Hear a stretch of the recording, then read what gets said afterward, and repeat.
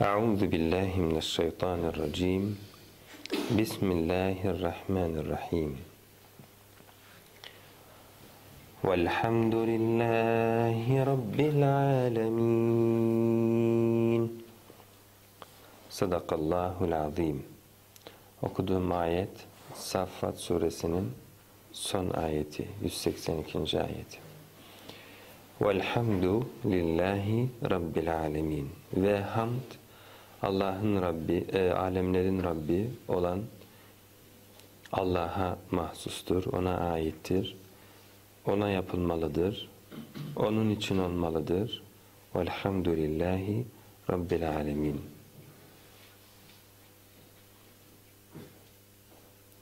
Hamdin Cenab-ı Hakk'a özgü olması, ona aidiyeti, Kur'an-ı Kerim'de geçtiği yerlerde Cenab-ı Hak mülküne işaret eder, kudretine işaret eder. Hamdin kendisine ait olmasının gerekliliği, Allah'ın bunu sahiplenmesi, bunu herkesten önce kapması, buna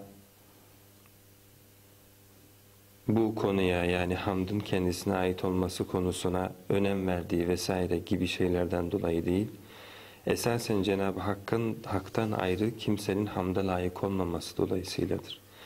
Velhamdülillahi hamd dediğimiz yani tapınma manasında zatını övme, büyüklüğünü övme, kudretini, ilmini, bilgisini övme anlamında biz kulların sürekli yapması gereken bir şey.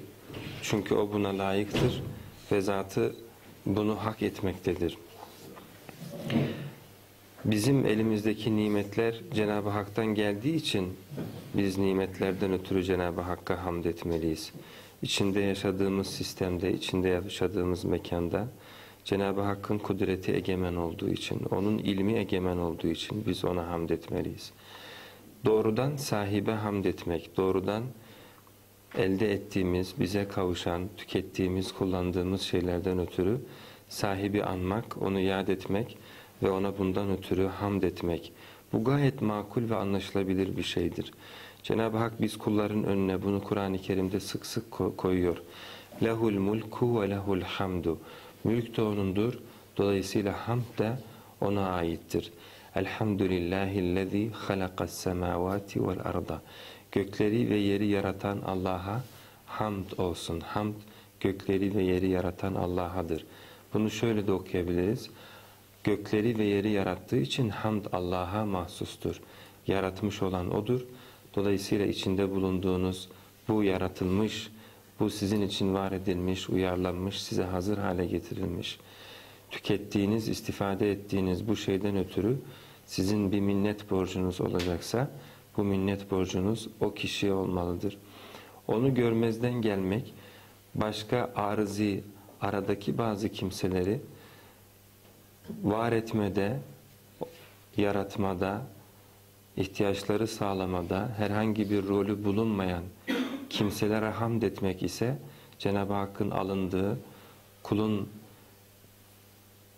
Cenab-ı Hakk'ı gözden çıkarması, Cenab-ı Hakk'ı görmezden gelmesi olarak akılsızlığı ve sefihliğinin bir alametidir. Eğer kul bu husustaki minnetini Cenab-ı Hakk'a bağlamamış, diğer kullardan bir şeyler beklemeye başlamış yahut onların bu işlerde etkili olduğuna düşünmeye başlamış ise bu onun akletmemesi, akılsızlığının bir sonucudur. Tefekkür etmemesinin bir sonucudur. Cenab-ı Hak diyor ki lehu makalidus semavati vel ard. Göklerin ve yerin bütün anahtarları onun elinde. Velillahi hazainus semavati vel ard. Göklerde ve yerdeki ne varsa bunların hazineleri kendi yanındadır. Ve in min şey'in illa indena hazainuhu. Hiçbir şey yok ki onun hazineleri yani sınırsız bir biçimde bizim elimizde olsun. Hepsi olmasın. Bizim hepsi bizim elimizde. Biz bunlara bütünüyle malikiz. Ama vellezine ted'un min dunihi ma yemlikun min qitmir. Sizin Cenab-ı Hak'tan ayrı çağırdıklarınızın bir çekirdek kabuğu bir, bir çekirdek kabuğu kadar bir şeyleri yok. Onların elinde herhangi bir şey yok iken siz onlardan beklemek, onlardan ummak hususunda e, harekete geçiyorsunuz. Onlara karşı minnet duyuyorsunuz. Bu kulun akletmemesiyle izah edilebilir. Gerçek sahibi görmezden gelmesiyle izah edilebilir. Bu büyük bir gaflettir. Bu kişi hakkında, böyle bir kişi hakkında büyük bir dalalettir. Elhamdülillahi Rabbil Alemin hayata bakış açısının bir sonucudur. Kişi hayata nasıl bakıyor? Bunu ele verir. Hamdı sadece Allah'a mahsus kılmış olan kimseler, sadece Allah'a karşı bu hissi yaşayan kimseler, Cenab-ı Hakk'ın her şeyin sahibi, her şeyi yöneten ve her şeyi her an kontrol eden kimse olarak bildiklerinden başkalarına karşı bu hususta minnet duymazlar, rahattırlar. Onlar bir sınava gireceklerse, bir jüri önüne çıkacaklarsa, eğer oradan elde edecekleri bir iş, elde edecekleri bir kariyer, elde edecekleri bir imkan yahut bir yerden ihale alacaksa, ihale heyetiyle olan münasebetinde gayet rahattırlar, tabiidirler. Bir heyecana, bir başkalaşmaya girmezler, müsterihtirler. Çünkü onlar bilirler ki buradan bir şey gelecekse bu Allah'tan gelecektir bu insanların kalplerini de, gönüllerini de, zihinlerini de kontrol eden Cenab-ı Hak'tır. Ve nukallibu afidetahum ve absarahum. Her şeylerini Allah kontrol ediyor. Dolayısıyla bana buradan bir nasip ayarlamışsa şayet o nasip bana gelip kavuşacaktır. O onlarla normal münasebetini sağlar. Kendisine ayrı bir kişilik, apayrı bir düzen, apayrı bir heyecana kapılmaz, müsterih olur. Çünkü bunun gerçek sahibiyle verecek olan gerçek kişiyle istişaresini yapmış, ona yalvarmış, ona yakarmış, ona duada bulunmuştur. O kişilerin huzuruna çıktığında da müsterihtir. Ne kadar müsterih isek böyle durumlarda biz o kadar elhamdülillahi rabbil aleminin şuurundayız demektir.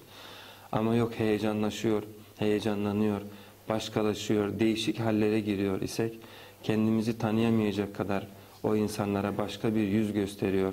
Aman bu işi kaçırmayayım diye bu fabrikadan alacağım bu işi kaçırmayayım, şuradan alacağım bu imkanı kaçırmayayım, şuraya işe gireceğim, bu insanların gözünde iyi görüneyim, aracıları bulayım diye büyük bir heyecan ve hareketlilik içerisindeysek, normal tabii davranmıyorsak, bu işi zaten verecekse Cenab-ı Hak verecek diye, muhtemel ki elbette ki başvuracak, başvururuz, elbette ki gidip imkanları araştırırız. Ama neticede gelecek olan Cenab-ı Hak'tan gel, geleceğini bilip müsterih olmak lazım ve elde ettikten sonra da bunu bize tavassut eden yahut bunu bize takdir eden e, kişiler, jüriler bunların bu işte bir dahli olmadığını, esas verenin Cenab-ı Hak olduğunu bilerek ileriye dönük de minnet duymamak. Biz o kadar bunu yani bize ulaşan herhangi bir lütfu, herhangi bir iyiliği Cenab-ı Hak'tan bellemişiz ki gelen kimseye de ona Allah'tan yine karşılık diliyoruz. Ne diyoruz? Allah senden razı olsun biri bir şey yaptığında. Bu ona karşı yapılmış bir duadır. Cenab-ı Hakk'ın onun bizimle paylaştığı, bize gösterdiği o imkanı, o iyiliği ye karşılık Cenab-ı Hak'tan ona bir karşılık umuyoruz. Ona karşı doğrudan hamd etmek gibi bir şeyimiz yok. Ona karşı doğrudan teşekkür ediyoruz ama bunun da ben çok isabetli bir şey olduğunu düşünmüyorum. Mesela hadislerde Hazreti Peygamber sallallahu aleyhi ve sellemin birine böyle teşekkür ettiğini, bugünkü tabirle şükran dediğini böyle görmüyoruz. Hazreti Peygamber diyor ki bir kimseye bir iyilik yapıldığında o ona cezakallahu hayran derse fakat eblaga fi's-senai artık ona karşılık vermede mübalağa bile etmiş olur. Yani buna böyle bir iyiliğe bir herhangi bir yardıma bir kimse bir başkası tarafından e, mazhar olduğunda buna böyle bir şey gerçekleştiğinde ona yine Cenab-ı Hak'tan bir karşılık dilemek. Allah senden razı olsun yahut Allah sana karşılığını cezakallahu hayran bol bol hayır ile versin diye Cenab-ı Hakk'ı anmak. Bu iki kişi arasında olan bir şeye üçüncünün girmesi gibi bir şeydir. Gerçek sahibin girmesi gibi bir şeydir. Eğer iki kişi kendi aralarında işi bitiriyor, biri teşekkür ediyor, ötekileri rica ediyorum diyorsa bu Cenab-ı Hakk'ın hiç anılmadığı bir ilişki biçimi. Sanki gerçekten mülk veya o yaptığı yardım yahut o yaptığı iyilik yapanın gerçekten kendisinden kaynaklanıyormuş gibi ona teşekkür etmek. O da bunu sahiplenip bir şey değil, daha ben çok fazlasını yaparım. bunlar ne ki anlamına gelecek bir sahiplenme içine giriyorsa bu yanlıştır. Bu Cenab-ı Hakk'ı gerçek sahibi anlamak, onu yad etmemek bu işte, bu e, onu bypass etmek gibi bir şeydir. Bu hamdin Allah'a ait olduğu gerçeğiyle yaşamamak gibi bir şeydir. Şu bulunduğumuz ortam mesela, bu salon bir vakfın salonudur. Biz burada başka işler çevirsek, onlara haber vermesek, onlara bu hususta teşekkür et, bu hususta onlara teşekkür etmesek, yani onların bu katkılarını yad etmesek, onlar ne yaparlar? Buna müdahale ederler. Yani bizim mekanda bizden habersiz, bizim hiç bilmediğimiz işler, ticaret yapsak, başka işler yapsak, Cenab-ı Hakk'ın malını kullanıp, onun yarattığı ortamda yaşayıp, onun yarattıklarını, yaşattıklarını başkalarıyla paylaştığımızda sahibi bizmişkes, bizmişkesine bize karşı teşekkürde bulunması, biz de bunu kabullenmemiz doğru olmaz. Bu seküler bir bakış. Yani iki kişi kendi arasında işi böyle bitirirlerse bundan Cenab-ı Hak memnun olmaz. Çünkü bakar ki ona oradan hiçbir şey gelmedi. Kullar onu iade etmedi. Halbuki her şeyde sahibi oydu oradaki. Ama başka iki kişi düşünün ki biri diğerine bir şeyini paylaşıyor, bir yardımda bulunuyor. Öteki de buna karşılık onun zatını öveceğine, büyüksünüz efendim diyeceğine böyle şeyler de söyleniyor. Büyüksünüz, sizden bunlar beklenir. Bunlar hamde benzer şeylerdir. Bunlar Cenab-ı Hakk'a yapılır. Böyle büyüksünüz diyeceğine Allah sizden razı olsun dediğinde veya karşılığını Cenab-ı Hak size mükafatla, hayırla mükafat versin dediğinde o kişi bilir ki bu Cenab-ı Hak'tan gelmiştir ve Cenab-ı Hak'tan olan bir şeyi onunla paylaştım. O da minnetini bana karşı değil, Cenab-ı Hakk'a karşı hissediyor. Dolayısıyla hamdın Cenab-ı Hakk'a ait olduğunu bilen kimseler minnetlerini, borçluluklarını, içlerindeki bu hissi Cenab-ı Hakk'a karşı duyarlar. Kulların burada aracı olduklarını, kulların burada Cenab-ı Hakk'ın takdir ettiği şeyleri, zaten kararlaştırdığı şeyleri ulaştırdıklarını bilir. Onlara karşı bir hissin, hamd hissinin içine kapılmaz. Biz öylesine elimize ulaşan şeylerin başkalarından geldiğine bazen kendimizi adapte ederiz ki, bırakın birinden iyilik görmeyi, iyilik gördükten sonra ona hamda benzer hislere kapılmayı, iyiliğin gelme ihtimalini hesapladığımız kimselere bile önden avans biçiminde hamdlerde bulunuruz. Falanca filancaya kartlar gönderiyor. Niye aynı ayardaki kimselere göndermiyor? İşte o onun heyetinde bulunacak olan kimselerdir. Öncesinde onlarda iyi bir konum elde etmeye, onları bu hususta güzel bir çehreyle beslemeye çalışıyor. Filanca filanca kimselerin ileride muhtemel ki şöyle bir işte aracılık etmeleri ya şöyle şöyle olmaları diye zihnimizin ileriye dönük hesapladığı şeyler vardır. Şu adamlar arayı iyi yapayım bana iş bulur yahut oğluma iş bulur. Şununla şöyle edeyim diye önden hamd ederiz. Yani öyle kimselere. Belki de böyle bir şey hiç vaki olmaz ve hiçbir zamanda onlardan böyle bir şey ihtiyacımız bile olmayabilir. Ama biz bunu peşinen avans olarak yaparız her ihtimale karşı. Cenab-ı Hak da diyor ki kullar size ne yaparlarsa yapsınlar benim dilemediğim hiçbir hayrı kavuştur ulaştıramazlar. Ve eğer benim dilediğim bir hayır var ise kullar hepsi toplansalar buna mani olamazlar. Ve in yemseskallahu bidurrin fela kashife lehu illahu. Allah size bir zararı murad ettiyse, ulaştırdıysa bunu Allah'tan ayrı, ondan başka hiç kimse kaldıramaz. Ve in yuridke bi hayrin sana bir hayır dilediyse fela radde li. Kimse onu geri çeviremez. Böyle inanan kimse sadece Allah'a hamd eder. Sadece ona karşı minnet hissine kapılır, şükür hissine kapılır, teşekkür eder. Başkalarına karşı minnetsizdir, rahattır, müsterihtir. Onlarla buluşmaya gittiğinde, orada konuşurken, onlarda herhangi bir kusur görse, aman ben söylemeyeyim bu kusurlarını, benim, bana gelecek olan bu hayra mani olurlar. Kendini belli etmez, dinini, dindarlığını belli etmez. Gelecek olan hayra, gelecek olan iyiliğe mani olmasın diye. Bunlar son derece kişinin bakış açısını ele veren yanlış şeylerdir. Cenab-ı Hak o kimseye karşısına alsa, oradan gelecek olan iyiliği benden mi belliyordun, o kimselerden mi belliyordun dese, Buna bu böyle bir tavır içerisinde olan kimsenin vereceği cevap çok sıkıntılıdır. Hem senden belliyordum hem onların etkili olduğunu düşünüyordum gibi şirk kokan ifadeler olur. Halbuki öteki kolu düşünün minnetsiz girmiş sıraya iş bekliyor, iş kolluyor ama gayet rahat içeri girdiğinde gayet rahat konuşuyor. Oradaki kimseler onun dindarlığını yoklayacak türden ifadeler kullandıklarında yanlış ifadelerse müdahale ediyor efendim. Böyle nasıl dersiniz? Cenab-ı Hak hakkında böyle nasıl konuşursunuz? Bakıyorlar ki gayet müsterih, işi kapıp kapmama hususunda bir endişesi yok.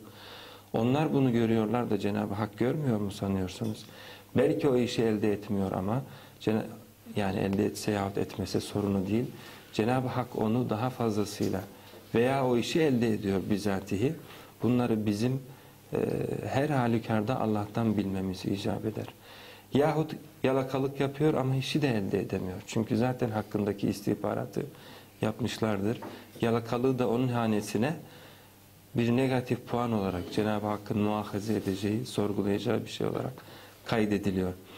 Dolayısıyla elhamdülillahi rabbil alemin Allah'a karşı nimetlerinden ötürü hamd etmek, bu nimetleri Cenab-ı Hak'tan bilmek, aynı zamanda bunları başkalarından bilmemekle de eş anlamlıdır. Aracıların bu hususta etkin olmadıklarını, aracıların bu hususta yüzde bir bile katkı sağlamadıklarını yahut yüzde bir bile direnç veya e, olumsuzluk oluşturamadıklarını bilmek demektir. Hazreti Peygamber diyor ki اَعْلَمْ bilesin ki enne ma asabaka lem yekun liyuhti'ake sana isabet eden bir şey var ise bu seni şaşacak değildir. Sana isabet eden bir şey, bir iyilik, herhangi bir iş, imkan, her neyse bu sana isabet edecekse lem yekun liyuhti'ek. Bu seni şaşacak değildir. Geldi sana erişti, bu arabayı aldın, bu işe girdin, bu daireyi aldın. Her neyse bu seni zaten şaşacak değildi. Hiç ihtimal yok. Bu sana gelecekti zaten. Baştan bu sana hazırlanmış idi. وَاَنَّمَا اَخْتَأَكَ Seni gelip şaşan, son anda sana geliyormuş gibi iken, son anda seni teğet geçen ve başkasına giden bir şey var ise lem yekun liyasibak. O da sana isabet edecek değildi. Asla sana isabet edecek değildi. Adresi zaten baştan belliydi ve oraya gidecekti. Dolayısıyla bunu takdir eden Cenab-ı Hakk'a karşı eğer hamd edecek isek ona hamd edeceğiz. İsteyecek isek, bekleyecek isek, umacak isek ondan umacağız.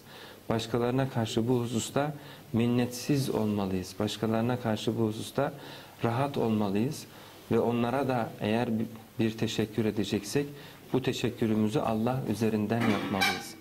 Men la yeşkurin nase la yeşkurullah. İnsanlara teşekkür etmesini bilmeyen Allah'a teşekkür etmesini bilmez diyor sallallahu aleyhi ve sellem. İnsanların yaptığı iyiliklere karşılıkta onlara Allah'tan duada bulunmak iyi öğretiyor sallallahu aleyhi ve sellem. Doğrudan onların zatlarına, kişiliklerine hamd etmeyi değil. Zat-ı aliniz, büyüksünüz efendim siz zaten böyle bu tür cümleler o kimseyi övüyor ise yaptıklarından ötürü bunlar ona doğrudan hamdı hissettirir, ihsas ettirir. Ama yok Cenab-ı Hak'tan onlara duada bulunur isek hem orada Cenab-ı Hakk'ı anmış hem de karşıdaki kişiye bu yaptıklarının esas sahibinin Allah olduğunu dolayısıyla karşılığını ona Allah'tan dilediğimizi söylemiş oluruz. İki bakış arasında ki fark birinin içerisinde gerçek sahip var, Allah var, diğerinin içerisinde o yok. Sanki iki kişi kendi başına bir şeyi çeviriyorlarmış gibi. Elhamdülillahi Rabbil Alemin. Bazı müfessirler diyorlar ki hamd alemlerin Rabbi olan Cenab-ı Hakk'adır demek Kur'an'ın mesajı demektir. Kur'an'ın özeti demektir. Hayatta insanın ereceği en yegane hakikat demektir. Kur'an-ı Kerim'deki bütün surelerde anlatılan gerçeklik budur. Hamdin Allah'ın Allah'a ait olduğu gerçekliğidir. Kur'an döner dolaşır bunu açıklar. Neden hamd Cenab-ı Hakk'adır? Çünkü o alemlerin Rabbidir. Alemlerde ne varsa onların ihtiyaçlarını o görüyor. Dolayısıyla buralarda birine minnet duyulacaksa Allah'a minnet duyulacak. Çünkü as-samet olan odur. Her şey ona dayanıyor, ona itimat ediyor. Bizler Allah'tan gayrı bize en küçük bir şey sağlayacak, doğrudan yaratıp bize sağlayacak bir tek kişi bulamayız. bulabilirsek bir gram dahi olsa bir şey yaratacak ve bunu bize sağlayacak ona hamd etmek için haklı bir nedenimiz olur. Ama yok böyle bir kimse.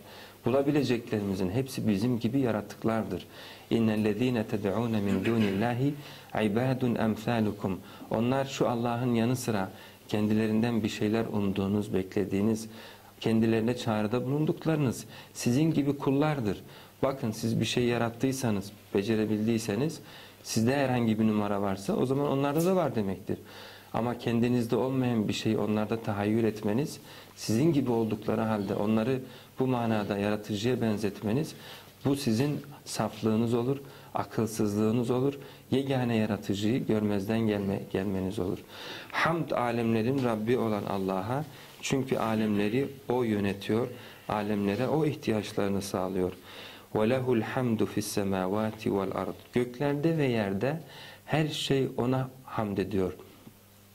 Elhamdülillahi ve kul elhamdülillahi rabbis semavati ve rabbil ardi rabbil alemin. Aynı ayetin içerisinde üç kez Cenab-ı Hak Rab oluşuna işaret ediyor.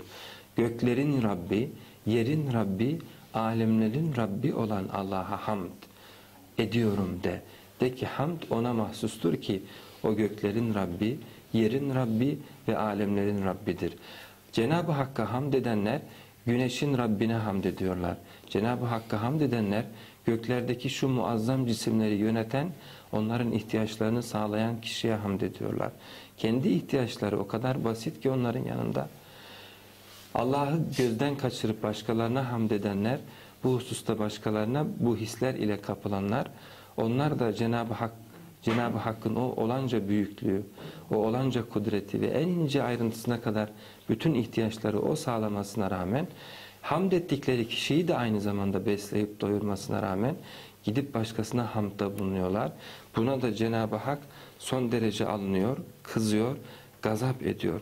وَلَهُ الْحَمْدُ فِي السَّمَاوَاتِ وَالْأَرْضِ وَعَشِيًّا وَحِينَ تُظْهِرُونَ Dolayısıyla gelen nimetlerden ötürü Cenab-ı Hakk'a hamd etmek.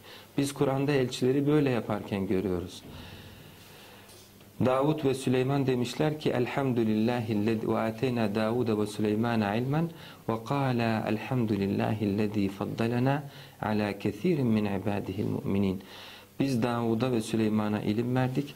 Onlar da dediler ki bizi kullarından, mümin kullarından pek çoğuna bu hususta taftil eden, bize bu hususta daha fazla şeyler veren yani ilim veren Cenab-ı Hakk'a hamd olsun dediler.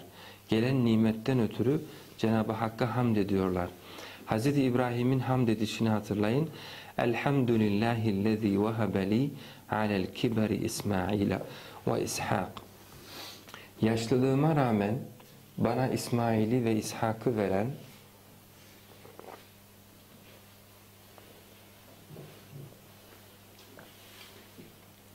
Allah'a hamdolsun. Elhamdülillahillezî vehebeli alel kiberi İsmail ve İshak.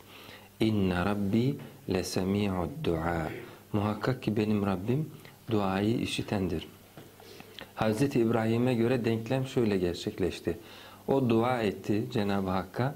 Ben Rabbi hebli mines salihin. Bana salihlerden evlat ver dedi. Yani Cenab-ı Hak da duayı duydu. Çünkü o duaları duyandır. Ve tuttu ona, icabet etti. Ona çocuk verdi. İsmail'i verdi. İshak'ı verdi. Hazreti İbrahim'e göre denklem böyle gerçekleşti. Aradaki başka şeyleri Hazreti İbrahim Aleyhisselam görmedi. Halbuki biz biliyoruz ki Cenab-ı Hakk'ın sünnetinde Cenab-ı Hak araya göstermelik başka kimseler koyuyor. Mesela çocuğu olmuyordur bir dönem. Sonra o doktor bu doktor derken bir başka bir doktor buluyorlar. O doktor rün yöntemleriyle, onun verdiği ilaçlarla Allah çocuk ihsan ediyor. Şimdi o kimseyi konuşurken duyuyorsunuz. Falanca doktor olmasaydı benim çocuğum olmazdı. Filanca doktor bunu şöyle yaptı. Yani Cenab-ı Hak gönderirken arada biri üzerinden biri eliyle bir düğüm atıyor oraya. Bir kimse üzerinden bir şekil veriyor, bir biçim veriyor. Kul halbuki dua etti, Cenab-ı Hak'tan bekledi. Sonra kulun denklemi değişiyor. Ben Allah'tan istedim, Allah da bana verdi diye denklemi böyle göreceğine Allah'tan istedim o verdiği unutuyor. Falanca adama denk geldik de o bize bu işi sağladı. Şuraya bak ki şöyle oldu sonunda falanca tanıdık çıktı da biz bu işe girdik. Yahut falanca ihaleyi filanca üzerinden şöyle oldu da biz elde ettik. Cenab-ı Hakk'ın arada koyduğu o küçük bir ayrıntı ile küçük bir çelme ile kul hemen yere çakılıyor. Halbuki onun karşılığında Cenab-ı Hakk'ı unutmaması gereken ayetler göklerden ve yerden her yönden yağıyor. Yani o kadar küçük yanıltıcı bir şeydir ki onu ona takılıp birdenbire Allah'ın bütün ayetlerini unutup Cenab-ı Hakk'ın bütün gücünü ve üzerimizdeki her türlü lütfunu unutup hatta Allah'ı unutup o küçük çelmeyle yere serilmek bizim Cenab-ı Hak ile olan irtibatımızın Cenab-ı Hakk'ı ne kadar takdir edişimizin zayıflığına işarettir.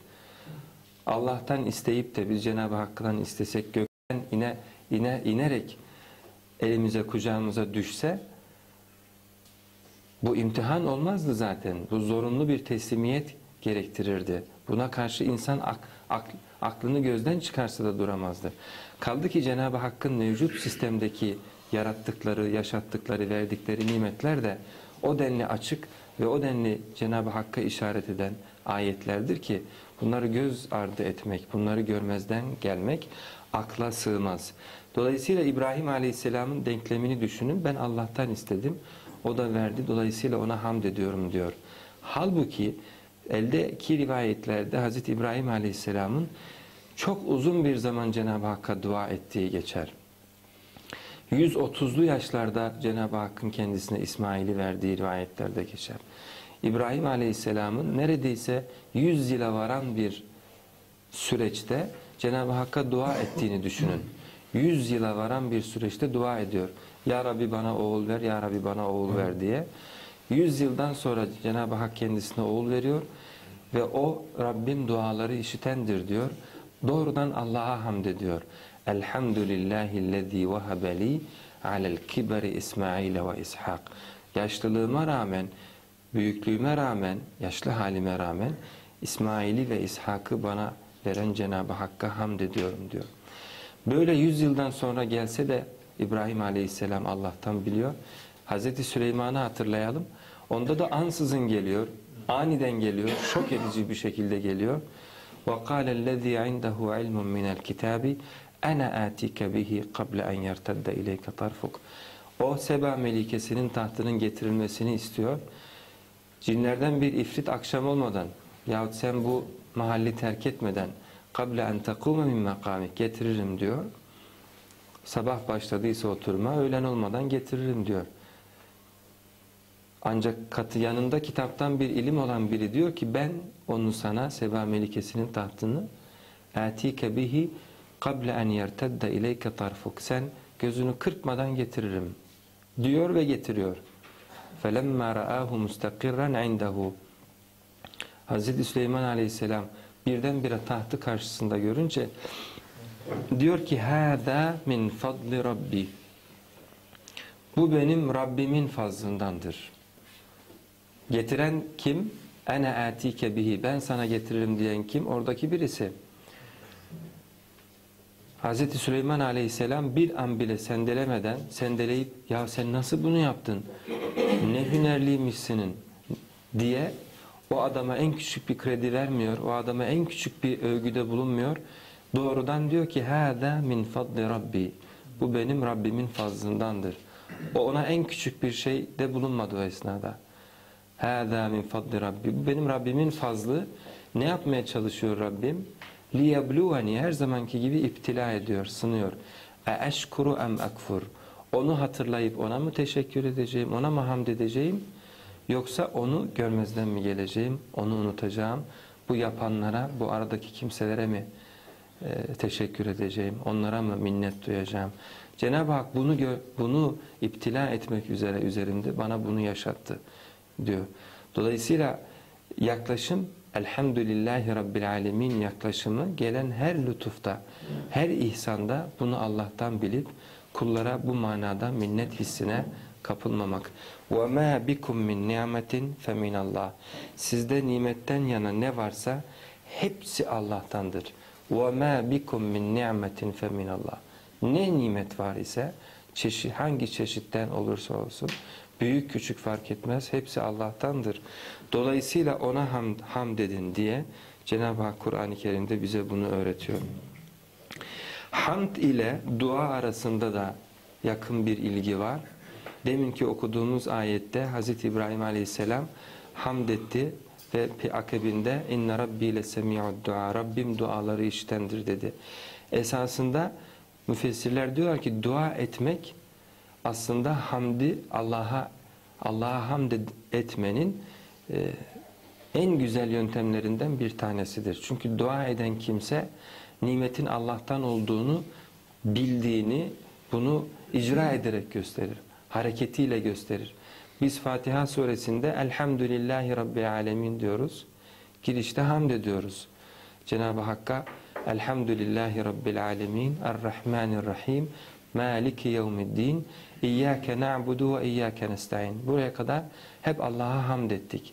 Alemlerin Rabbi olduğu, din gününün, ceza gününün sahibi olduğu, bizim sadece kendisine ibadet edip, sadece kendisinden yardım bekleyeceğimiz. Bunların hepsi Cenab-ı Hakk'ın zatını övdüğümüz ifadelerdir. Dolayısıyla girişte hamd var Fatiha'da. Sonra ne var? Sonra da bir tane dua var. Fatiha bir hamd ve bir duadan ibaret. Duada ne diyoruz? İhdinas sıratal mustakim. Bizi sırat-ı mustakime ilet.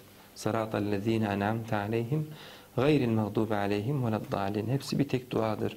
Kendilerine hidayet ettiğin, nimette bulunduğun kimselerin yoluna, gazap eylediklerinin yoluna değil. Bizi böyle bir yola hidayet et, müstakim bir yola hidayet et diye duada bulunuyoruz. Allah'tan böyle bir bekleyişin içerisine giriyoruz. Bu hamdın kendisidir. Cenab-ı Hak bu yapıldığında, zatına dua edildiğinde zatına hamd edilmiş gibi olur. Ona hamd etmenin, baştan hamd etmenin bir yöntemidir dua etmek.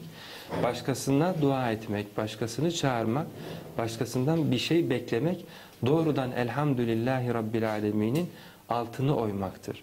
Gelen bir nimeti Allah'tan bilmek, nasıl Allah'tan ayrı bir kimseden bilmek, onun katkısı, girişimi, arada bir şeyler yapması nasıl düşünmek hamdi bozar ise, Elhamdülillahi Rabbil Alemin'i bozar ise, Allah'tan ayrı bir kimseye nida edip, onu çağırıp, şu işimi gör, şu işimi yap diye ondan beklentiye girmek kıyabında, bu da hamdi doğrudan bozar.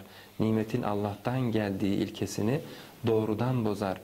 وَقُلِ الْحَمْدُ لِلّٰهِ فَدْعُوهُ مُخْلِص۪ينَ لَهُ الدِّينَ Hamd Allah, alemlerin Rabbi olan Allah'adır deyin ve bütün ihlas ile Cenab-ı Hak'tan isteyin. Ondan bekleyin, onu ondan e, niyazda bulunun. فَدْعُوهُ مُخْلِص۪ينَ لَهُ الدِّينَ Elhamdü lillahi Rabbil alemin.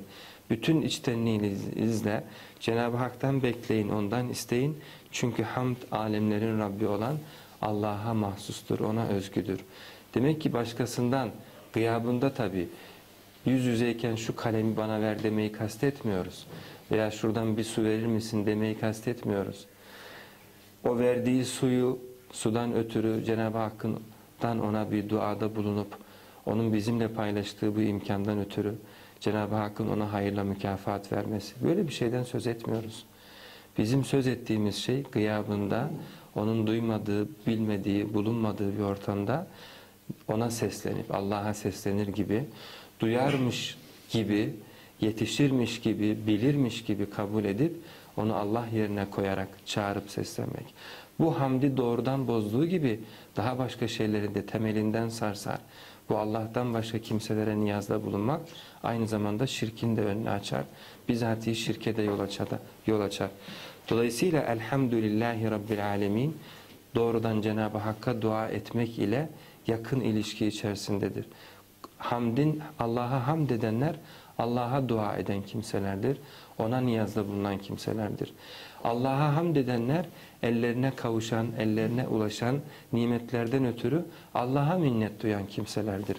Beklentileri de Cenab-ı Hak'tan, minnetleri de Cenab-ı Hakk'a olan kimselerdir. Çünkü onlar hamdin, alemlerin Rabbi olan Allah'a özgü olduğu gerçeğiyle yaşıyorlar. Elhamdülillahi Rabbil alemin. Elçiler insanlara gelip bunu anlattılar.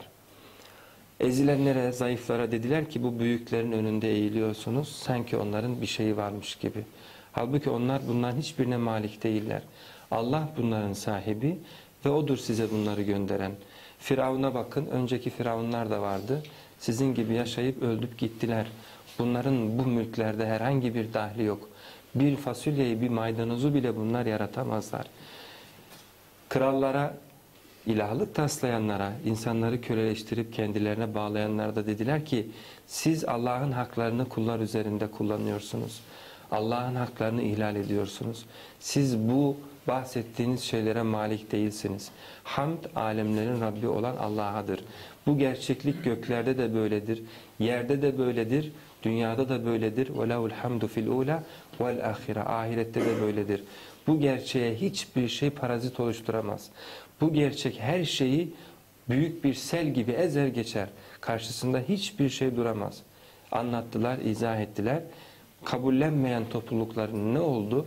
Bu su geldi, elhamdülillahi rabbil alemin gerçeği geldi, onları ezdi geçti, bitirdi. فَقُطِعَ دَابِرُ الْقَوْمِ الَّذ۪ينَ ظَلَمُوا وَالْحَمْدُلِلَّهِ rabbil alemin. Zulmeden zalim toplulukların sonu kökü kurutuldu, kökü kesildi. Çünkü hamd alemlerin Rabbi olan Allah'a mahsustur. Kimse hamdı kendisine tahsis etmeye gücü yetmez, bunu sürdürmeye gücü yetmez. Kimse de başkalarına Allah'tan ayrı kimselere hamd ederek yeryüzünde bunu sürdüremez. Hamd alemlerin Rabbi olan Allah'a mahsustur. Ondan ayrı yapılan hamd türlerinin hepsi yok olmaya mahkumdur.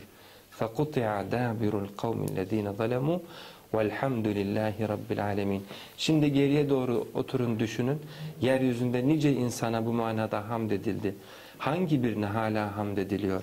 Bunlardan hangi birine hamd edilmeye devam ediyor? وَسَيَعْلَمُ الَّذ۪ينَ ظَلَمُوا اَيَّ مُنْقَلَبٍ يَنْقَلِبُونَ Hepsi öyle bir devrilmeyle devrildiler ki, öyle bir altına üst, altı üstüne gelmekle altları üstlerine geldi ki, o gel, geldiği an, böyle bir şey gerçekleştiğinde hangi e, gerçeklik kendisini dayatıyor? Elhamdülillahi Rabbil Alemin hakikati kendisini dayatıyor. Her yerde dayatıyor. Buna bundan gayrı, bundan ayrı küçük bir alan oluşturmamız, küçük bir imkan, bir bölüm oluşturup orada da falancaya yahut filancaya hamdi tahsis etmemiz mümkün değil. Hücreden, zerreden, küreye her alanda hamdin alemlerin Rabbi ol, olan Allah'a ait olması gerektiği gerçekliği işliyor. Bu yaşanıyor. Eşya bunu yapıyor. Cenab-ı Hakk'ın yarattığı cemaat bunu yapıyor. Hayvanat bunu yapıyor. Bir tek aykırı ses zaman zaman parazit ses bizden, insanlardan çıkıyor. Ve çıkan bu parazit sesi de o gerçeklik yani elhamdülillahi rabbil alemin gerçekliği gelip kapatıyor. Bunu söyleyen boğazlar kuruyor. Bunu söyleyen ağızlar tıkanıyor. Bunu söyleyen bedenler yok oluyor, mahvoluyor. Çağlar geçiyor. Her zaman elhamdülillahi rabbil alemin gerçekliği her yerde kaim oluyor. Kıyametin kopması da elhamdülillahi rabbil aleminin bir tecellisidir. Allah alemlerin Rabbi olan Allah'tan ayrı kimseye hamd edilmez. Her yerde ve her zamanda bu olmalıdır der ve mevcut bu imtihan alanında başkalarına yapılan hamdin veya başkalarına yapılan hamdin kökü kurutulur ve bu dönem kapatılmış olur. Ahirette hamd alemlerin Rabbi olan Allah'a, orada da hamd alemlerin Rabbi olan Allah'a yapılır. Müminlerin cennetteki yaşamlarında Allah onların hamd ettiklerinden, alemlerin Rabbi olan Allah'a hamd ettiklerinden söz ediyor. Onlar bir şey isteyecekleri zaman Subhanekallahumma derler diyor. Davahum fiha Subhanekallahumma bir şey isteyecekleri zaman, Cenab-ı Hakk'ı çağıracakları zaman Subhanekallahumma bu adeta dua cümlesi, talep cümlesi. Bunu söyledi mi kul oradaki Allah'ın her türlü onun için yarattığı e, imkanlar hazır hale geliyor. Her türlü hizmetçiler orada onun ne istediğini, ne beklediğini gelip soruyorlar. Çünkü bu bir talep cümlesi, dua cümlesi. Da'vahum fiha subhanekallahumma وَتَحِيَّتُهُمْ ف۪يهَا selam وَآخِرُ دَعْوَاهُمْ Dualarının sonunda da yaptıkları şey Elhamdülillahi Rabbil Alemin.